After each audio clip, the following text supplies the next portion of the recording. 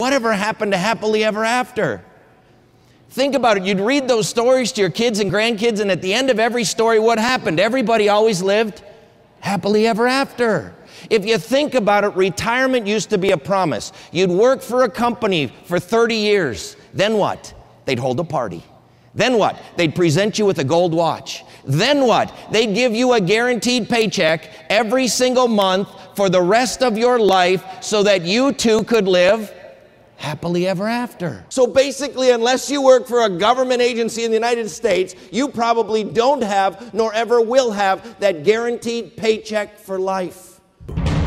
Tom Hegna is a dynamic speaker who brings his relentless energy and unmatched insights on retirement to each of his award winning presentations. As an economist, former first vice president at a Fortune 100 company, and retired lieutenant colonel, Tom has inspired thousands of executives and business professionals to take control of their finances and their lives. In over 2,000 seminars, his message has transformed the perspectives of countless minds, helping build safer and happier retirements. I want you to know that there's one best way for every person in the world to retire. And I'm going to share that with you today. And it's not my opinion, it's based in math and science. It's been proven by PhDs and physicists.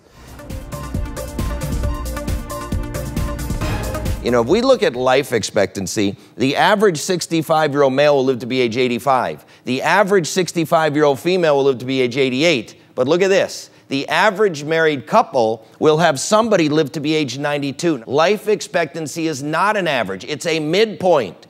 It simply means that half of the 65 year old men will die prior to age 85. What about the other half? USA Today had an article a couple years ago. It said 50% of all baby boomers believe they can take out 10% per year or more in retirement.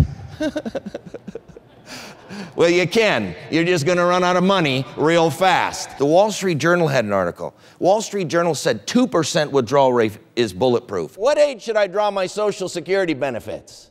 You know what the Council of Wise Men will tell you? 62. Get it out of the government as quick as you can. Haven't you seen? This place is going bankrupt. Get it while the getting's good. 62, 62, 62. That's not the right answer. We need to have the right answer. What's the right answer? The breadwinner should delay. If you're the breadwinner, how many lives does Social Security cover? Two lives. Two lives, not one. So if he takes his at 62 and gets the reduced Social Security, what did he just do to her? He just lowered hers too. See, the breadwinner should delay till 70 if they can, because that's going to cover two lives. Because when he dies, which Social Security check does she get? She gets his.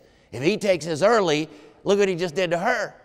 Tom is the author of Paychecks and Playchecks Retirement Solutions for Life, consistently ranked the number one best selling retirement planning Kindle book on Amazon.com. He has been featured on FoxBusiness.com, the Small Business Advocate Radio Show, Forbes.com, and other top business media outlets. If we watch TV, what is the media saying? They're saying we're going to have this big inflation explosion, right? And your clients, they're out buying their gold and their silver and their guns and their bullets and their water and their toilet paper and toothbrushes, and they got some concertina wire and a shovel because they say it's going to be bad.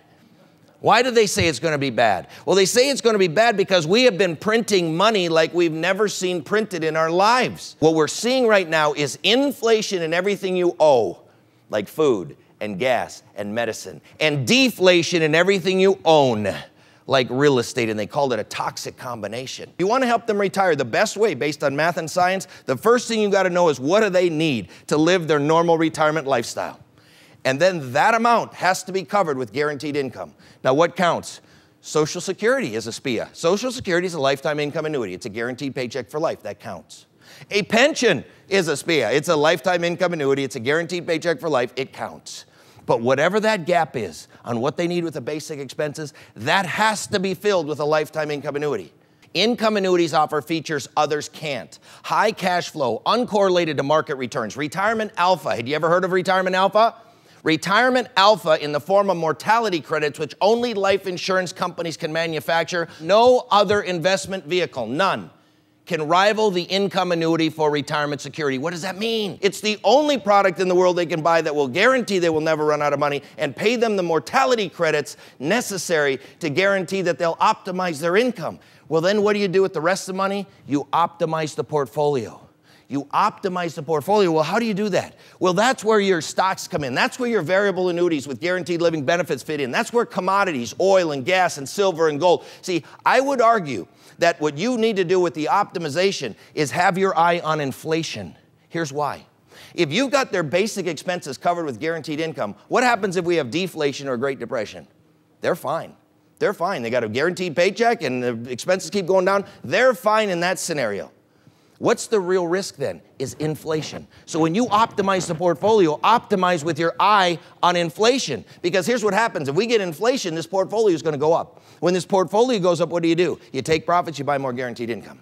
Markets go up and down. When they go up, you take profits, you buy more guaranteed income. Markets go up and down. When they go up, you take profits, you buy more income. What are you doing there? You are laddering their income to help protect their income against inflation. Their portfolio is protected against inflation. If you have deflation or depression, they're fine. No matter what happens in the economy, if you follow this simple two step approach, they're fine. Audiences love Tom Hegna's simple real world commentary, consistently providing highly rated evaluations and praise such as sharp, crisp, and to the point. And please have him back every year.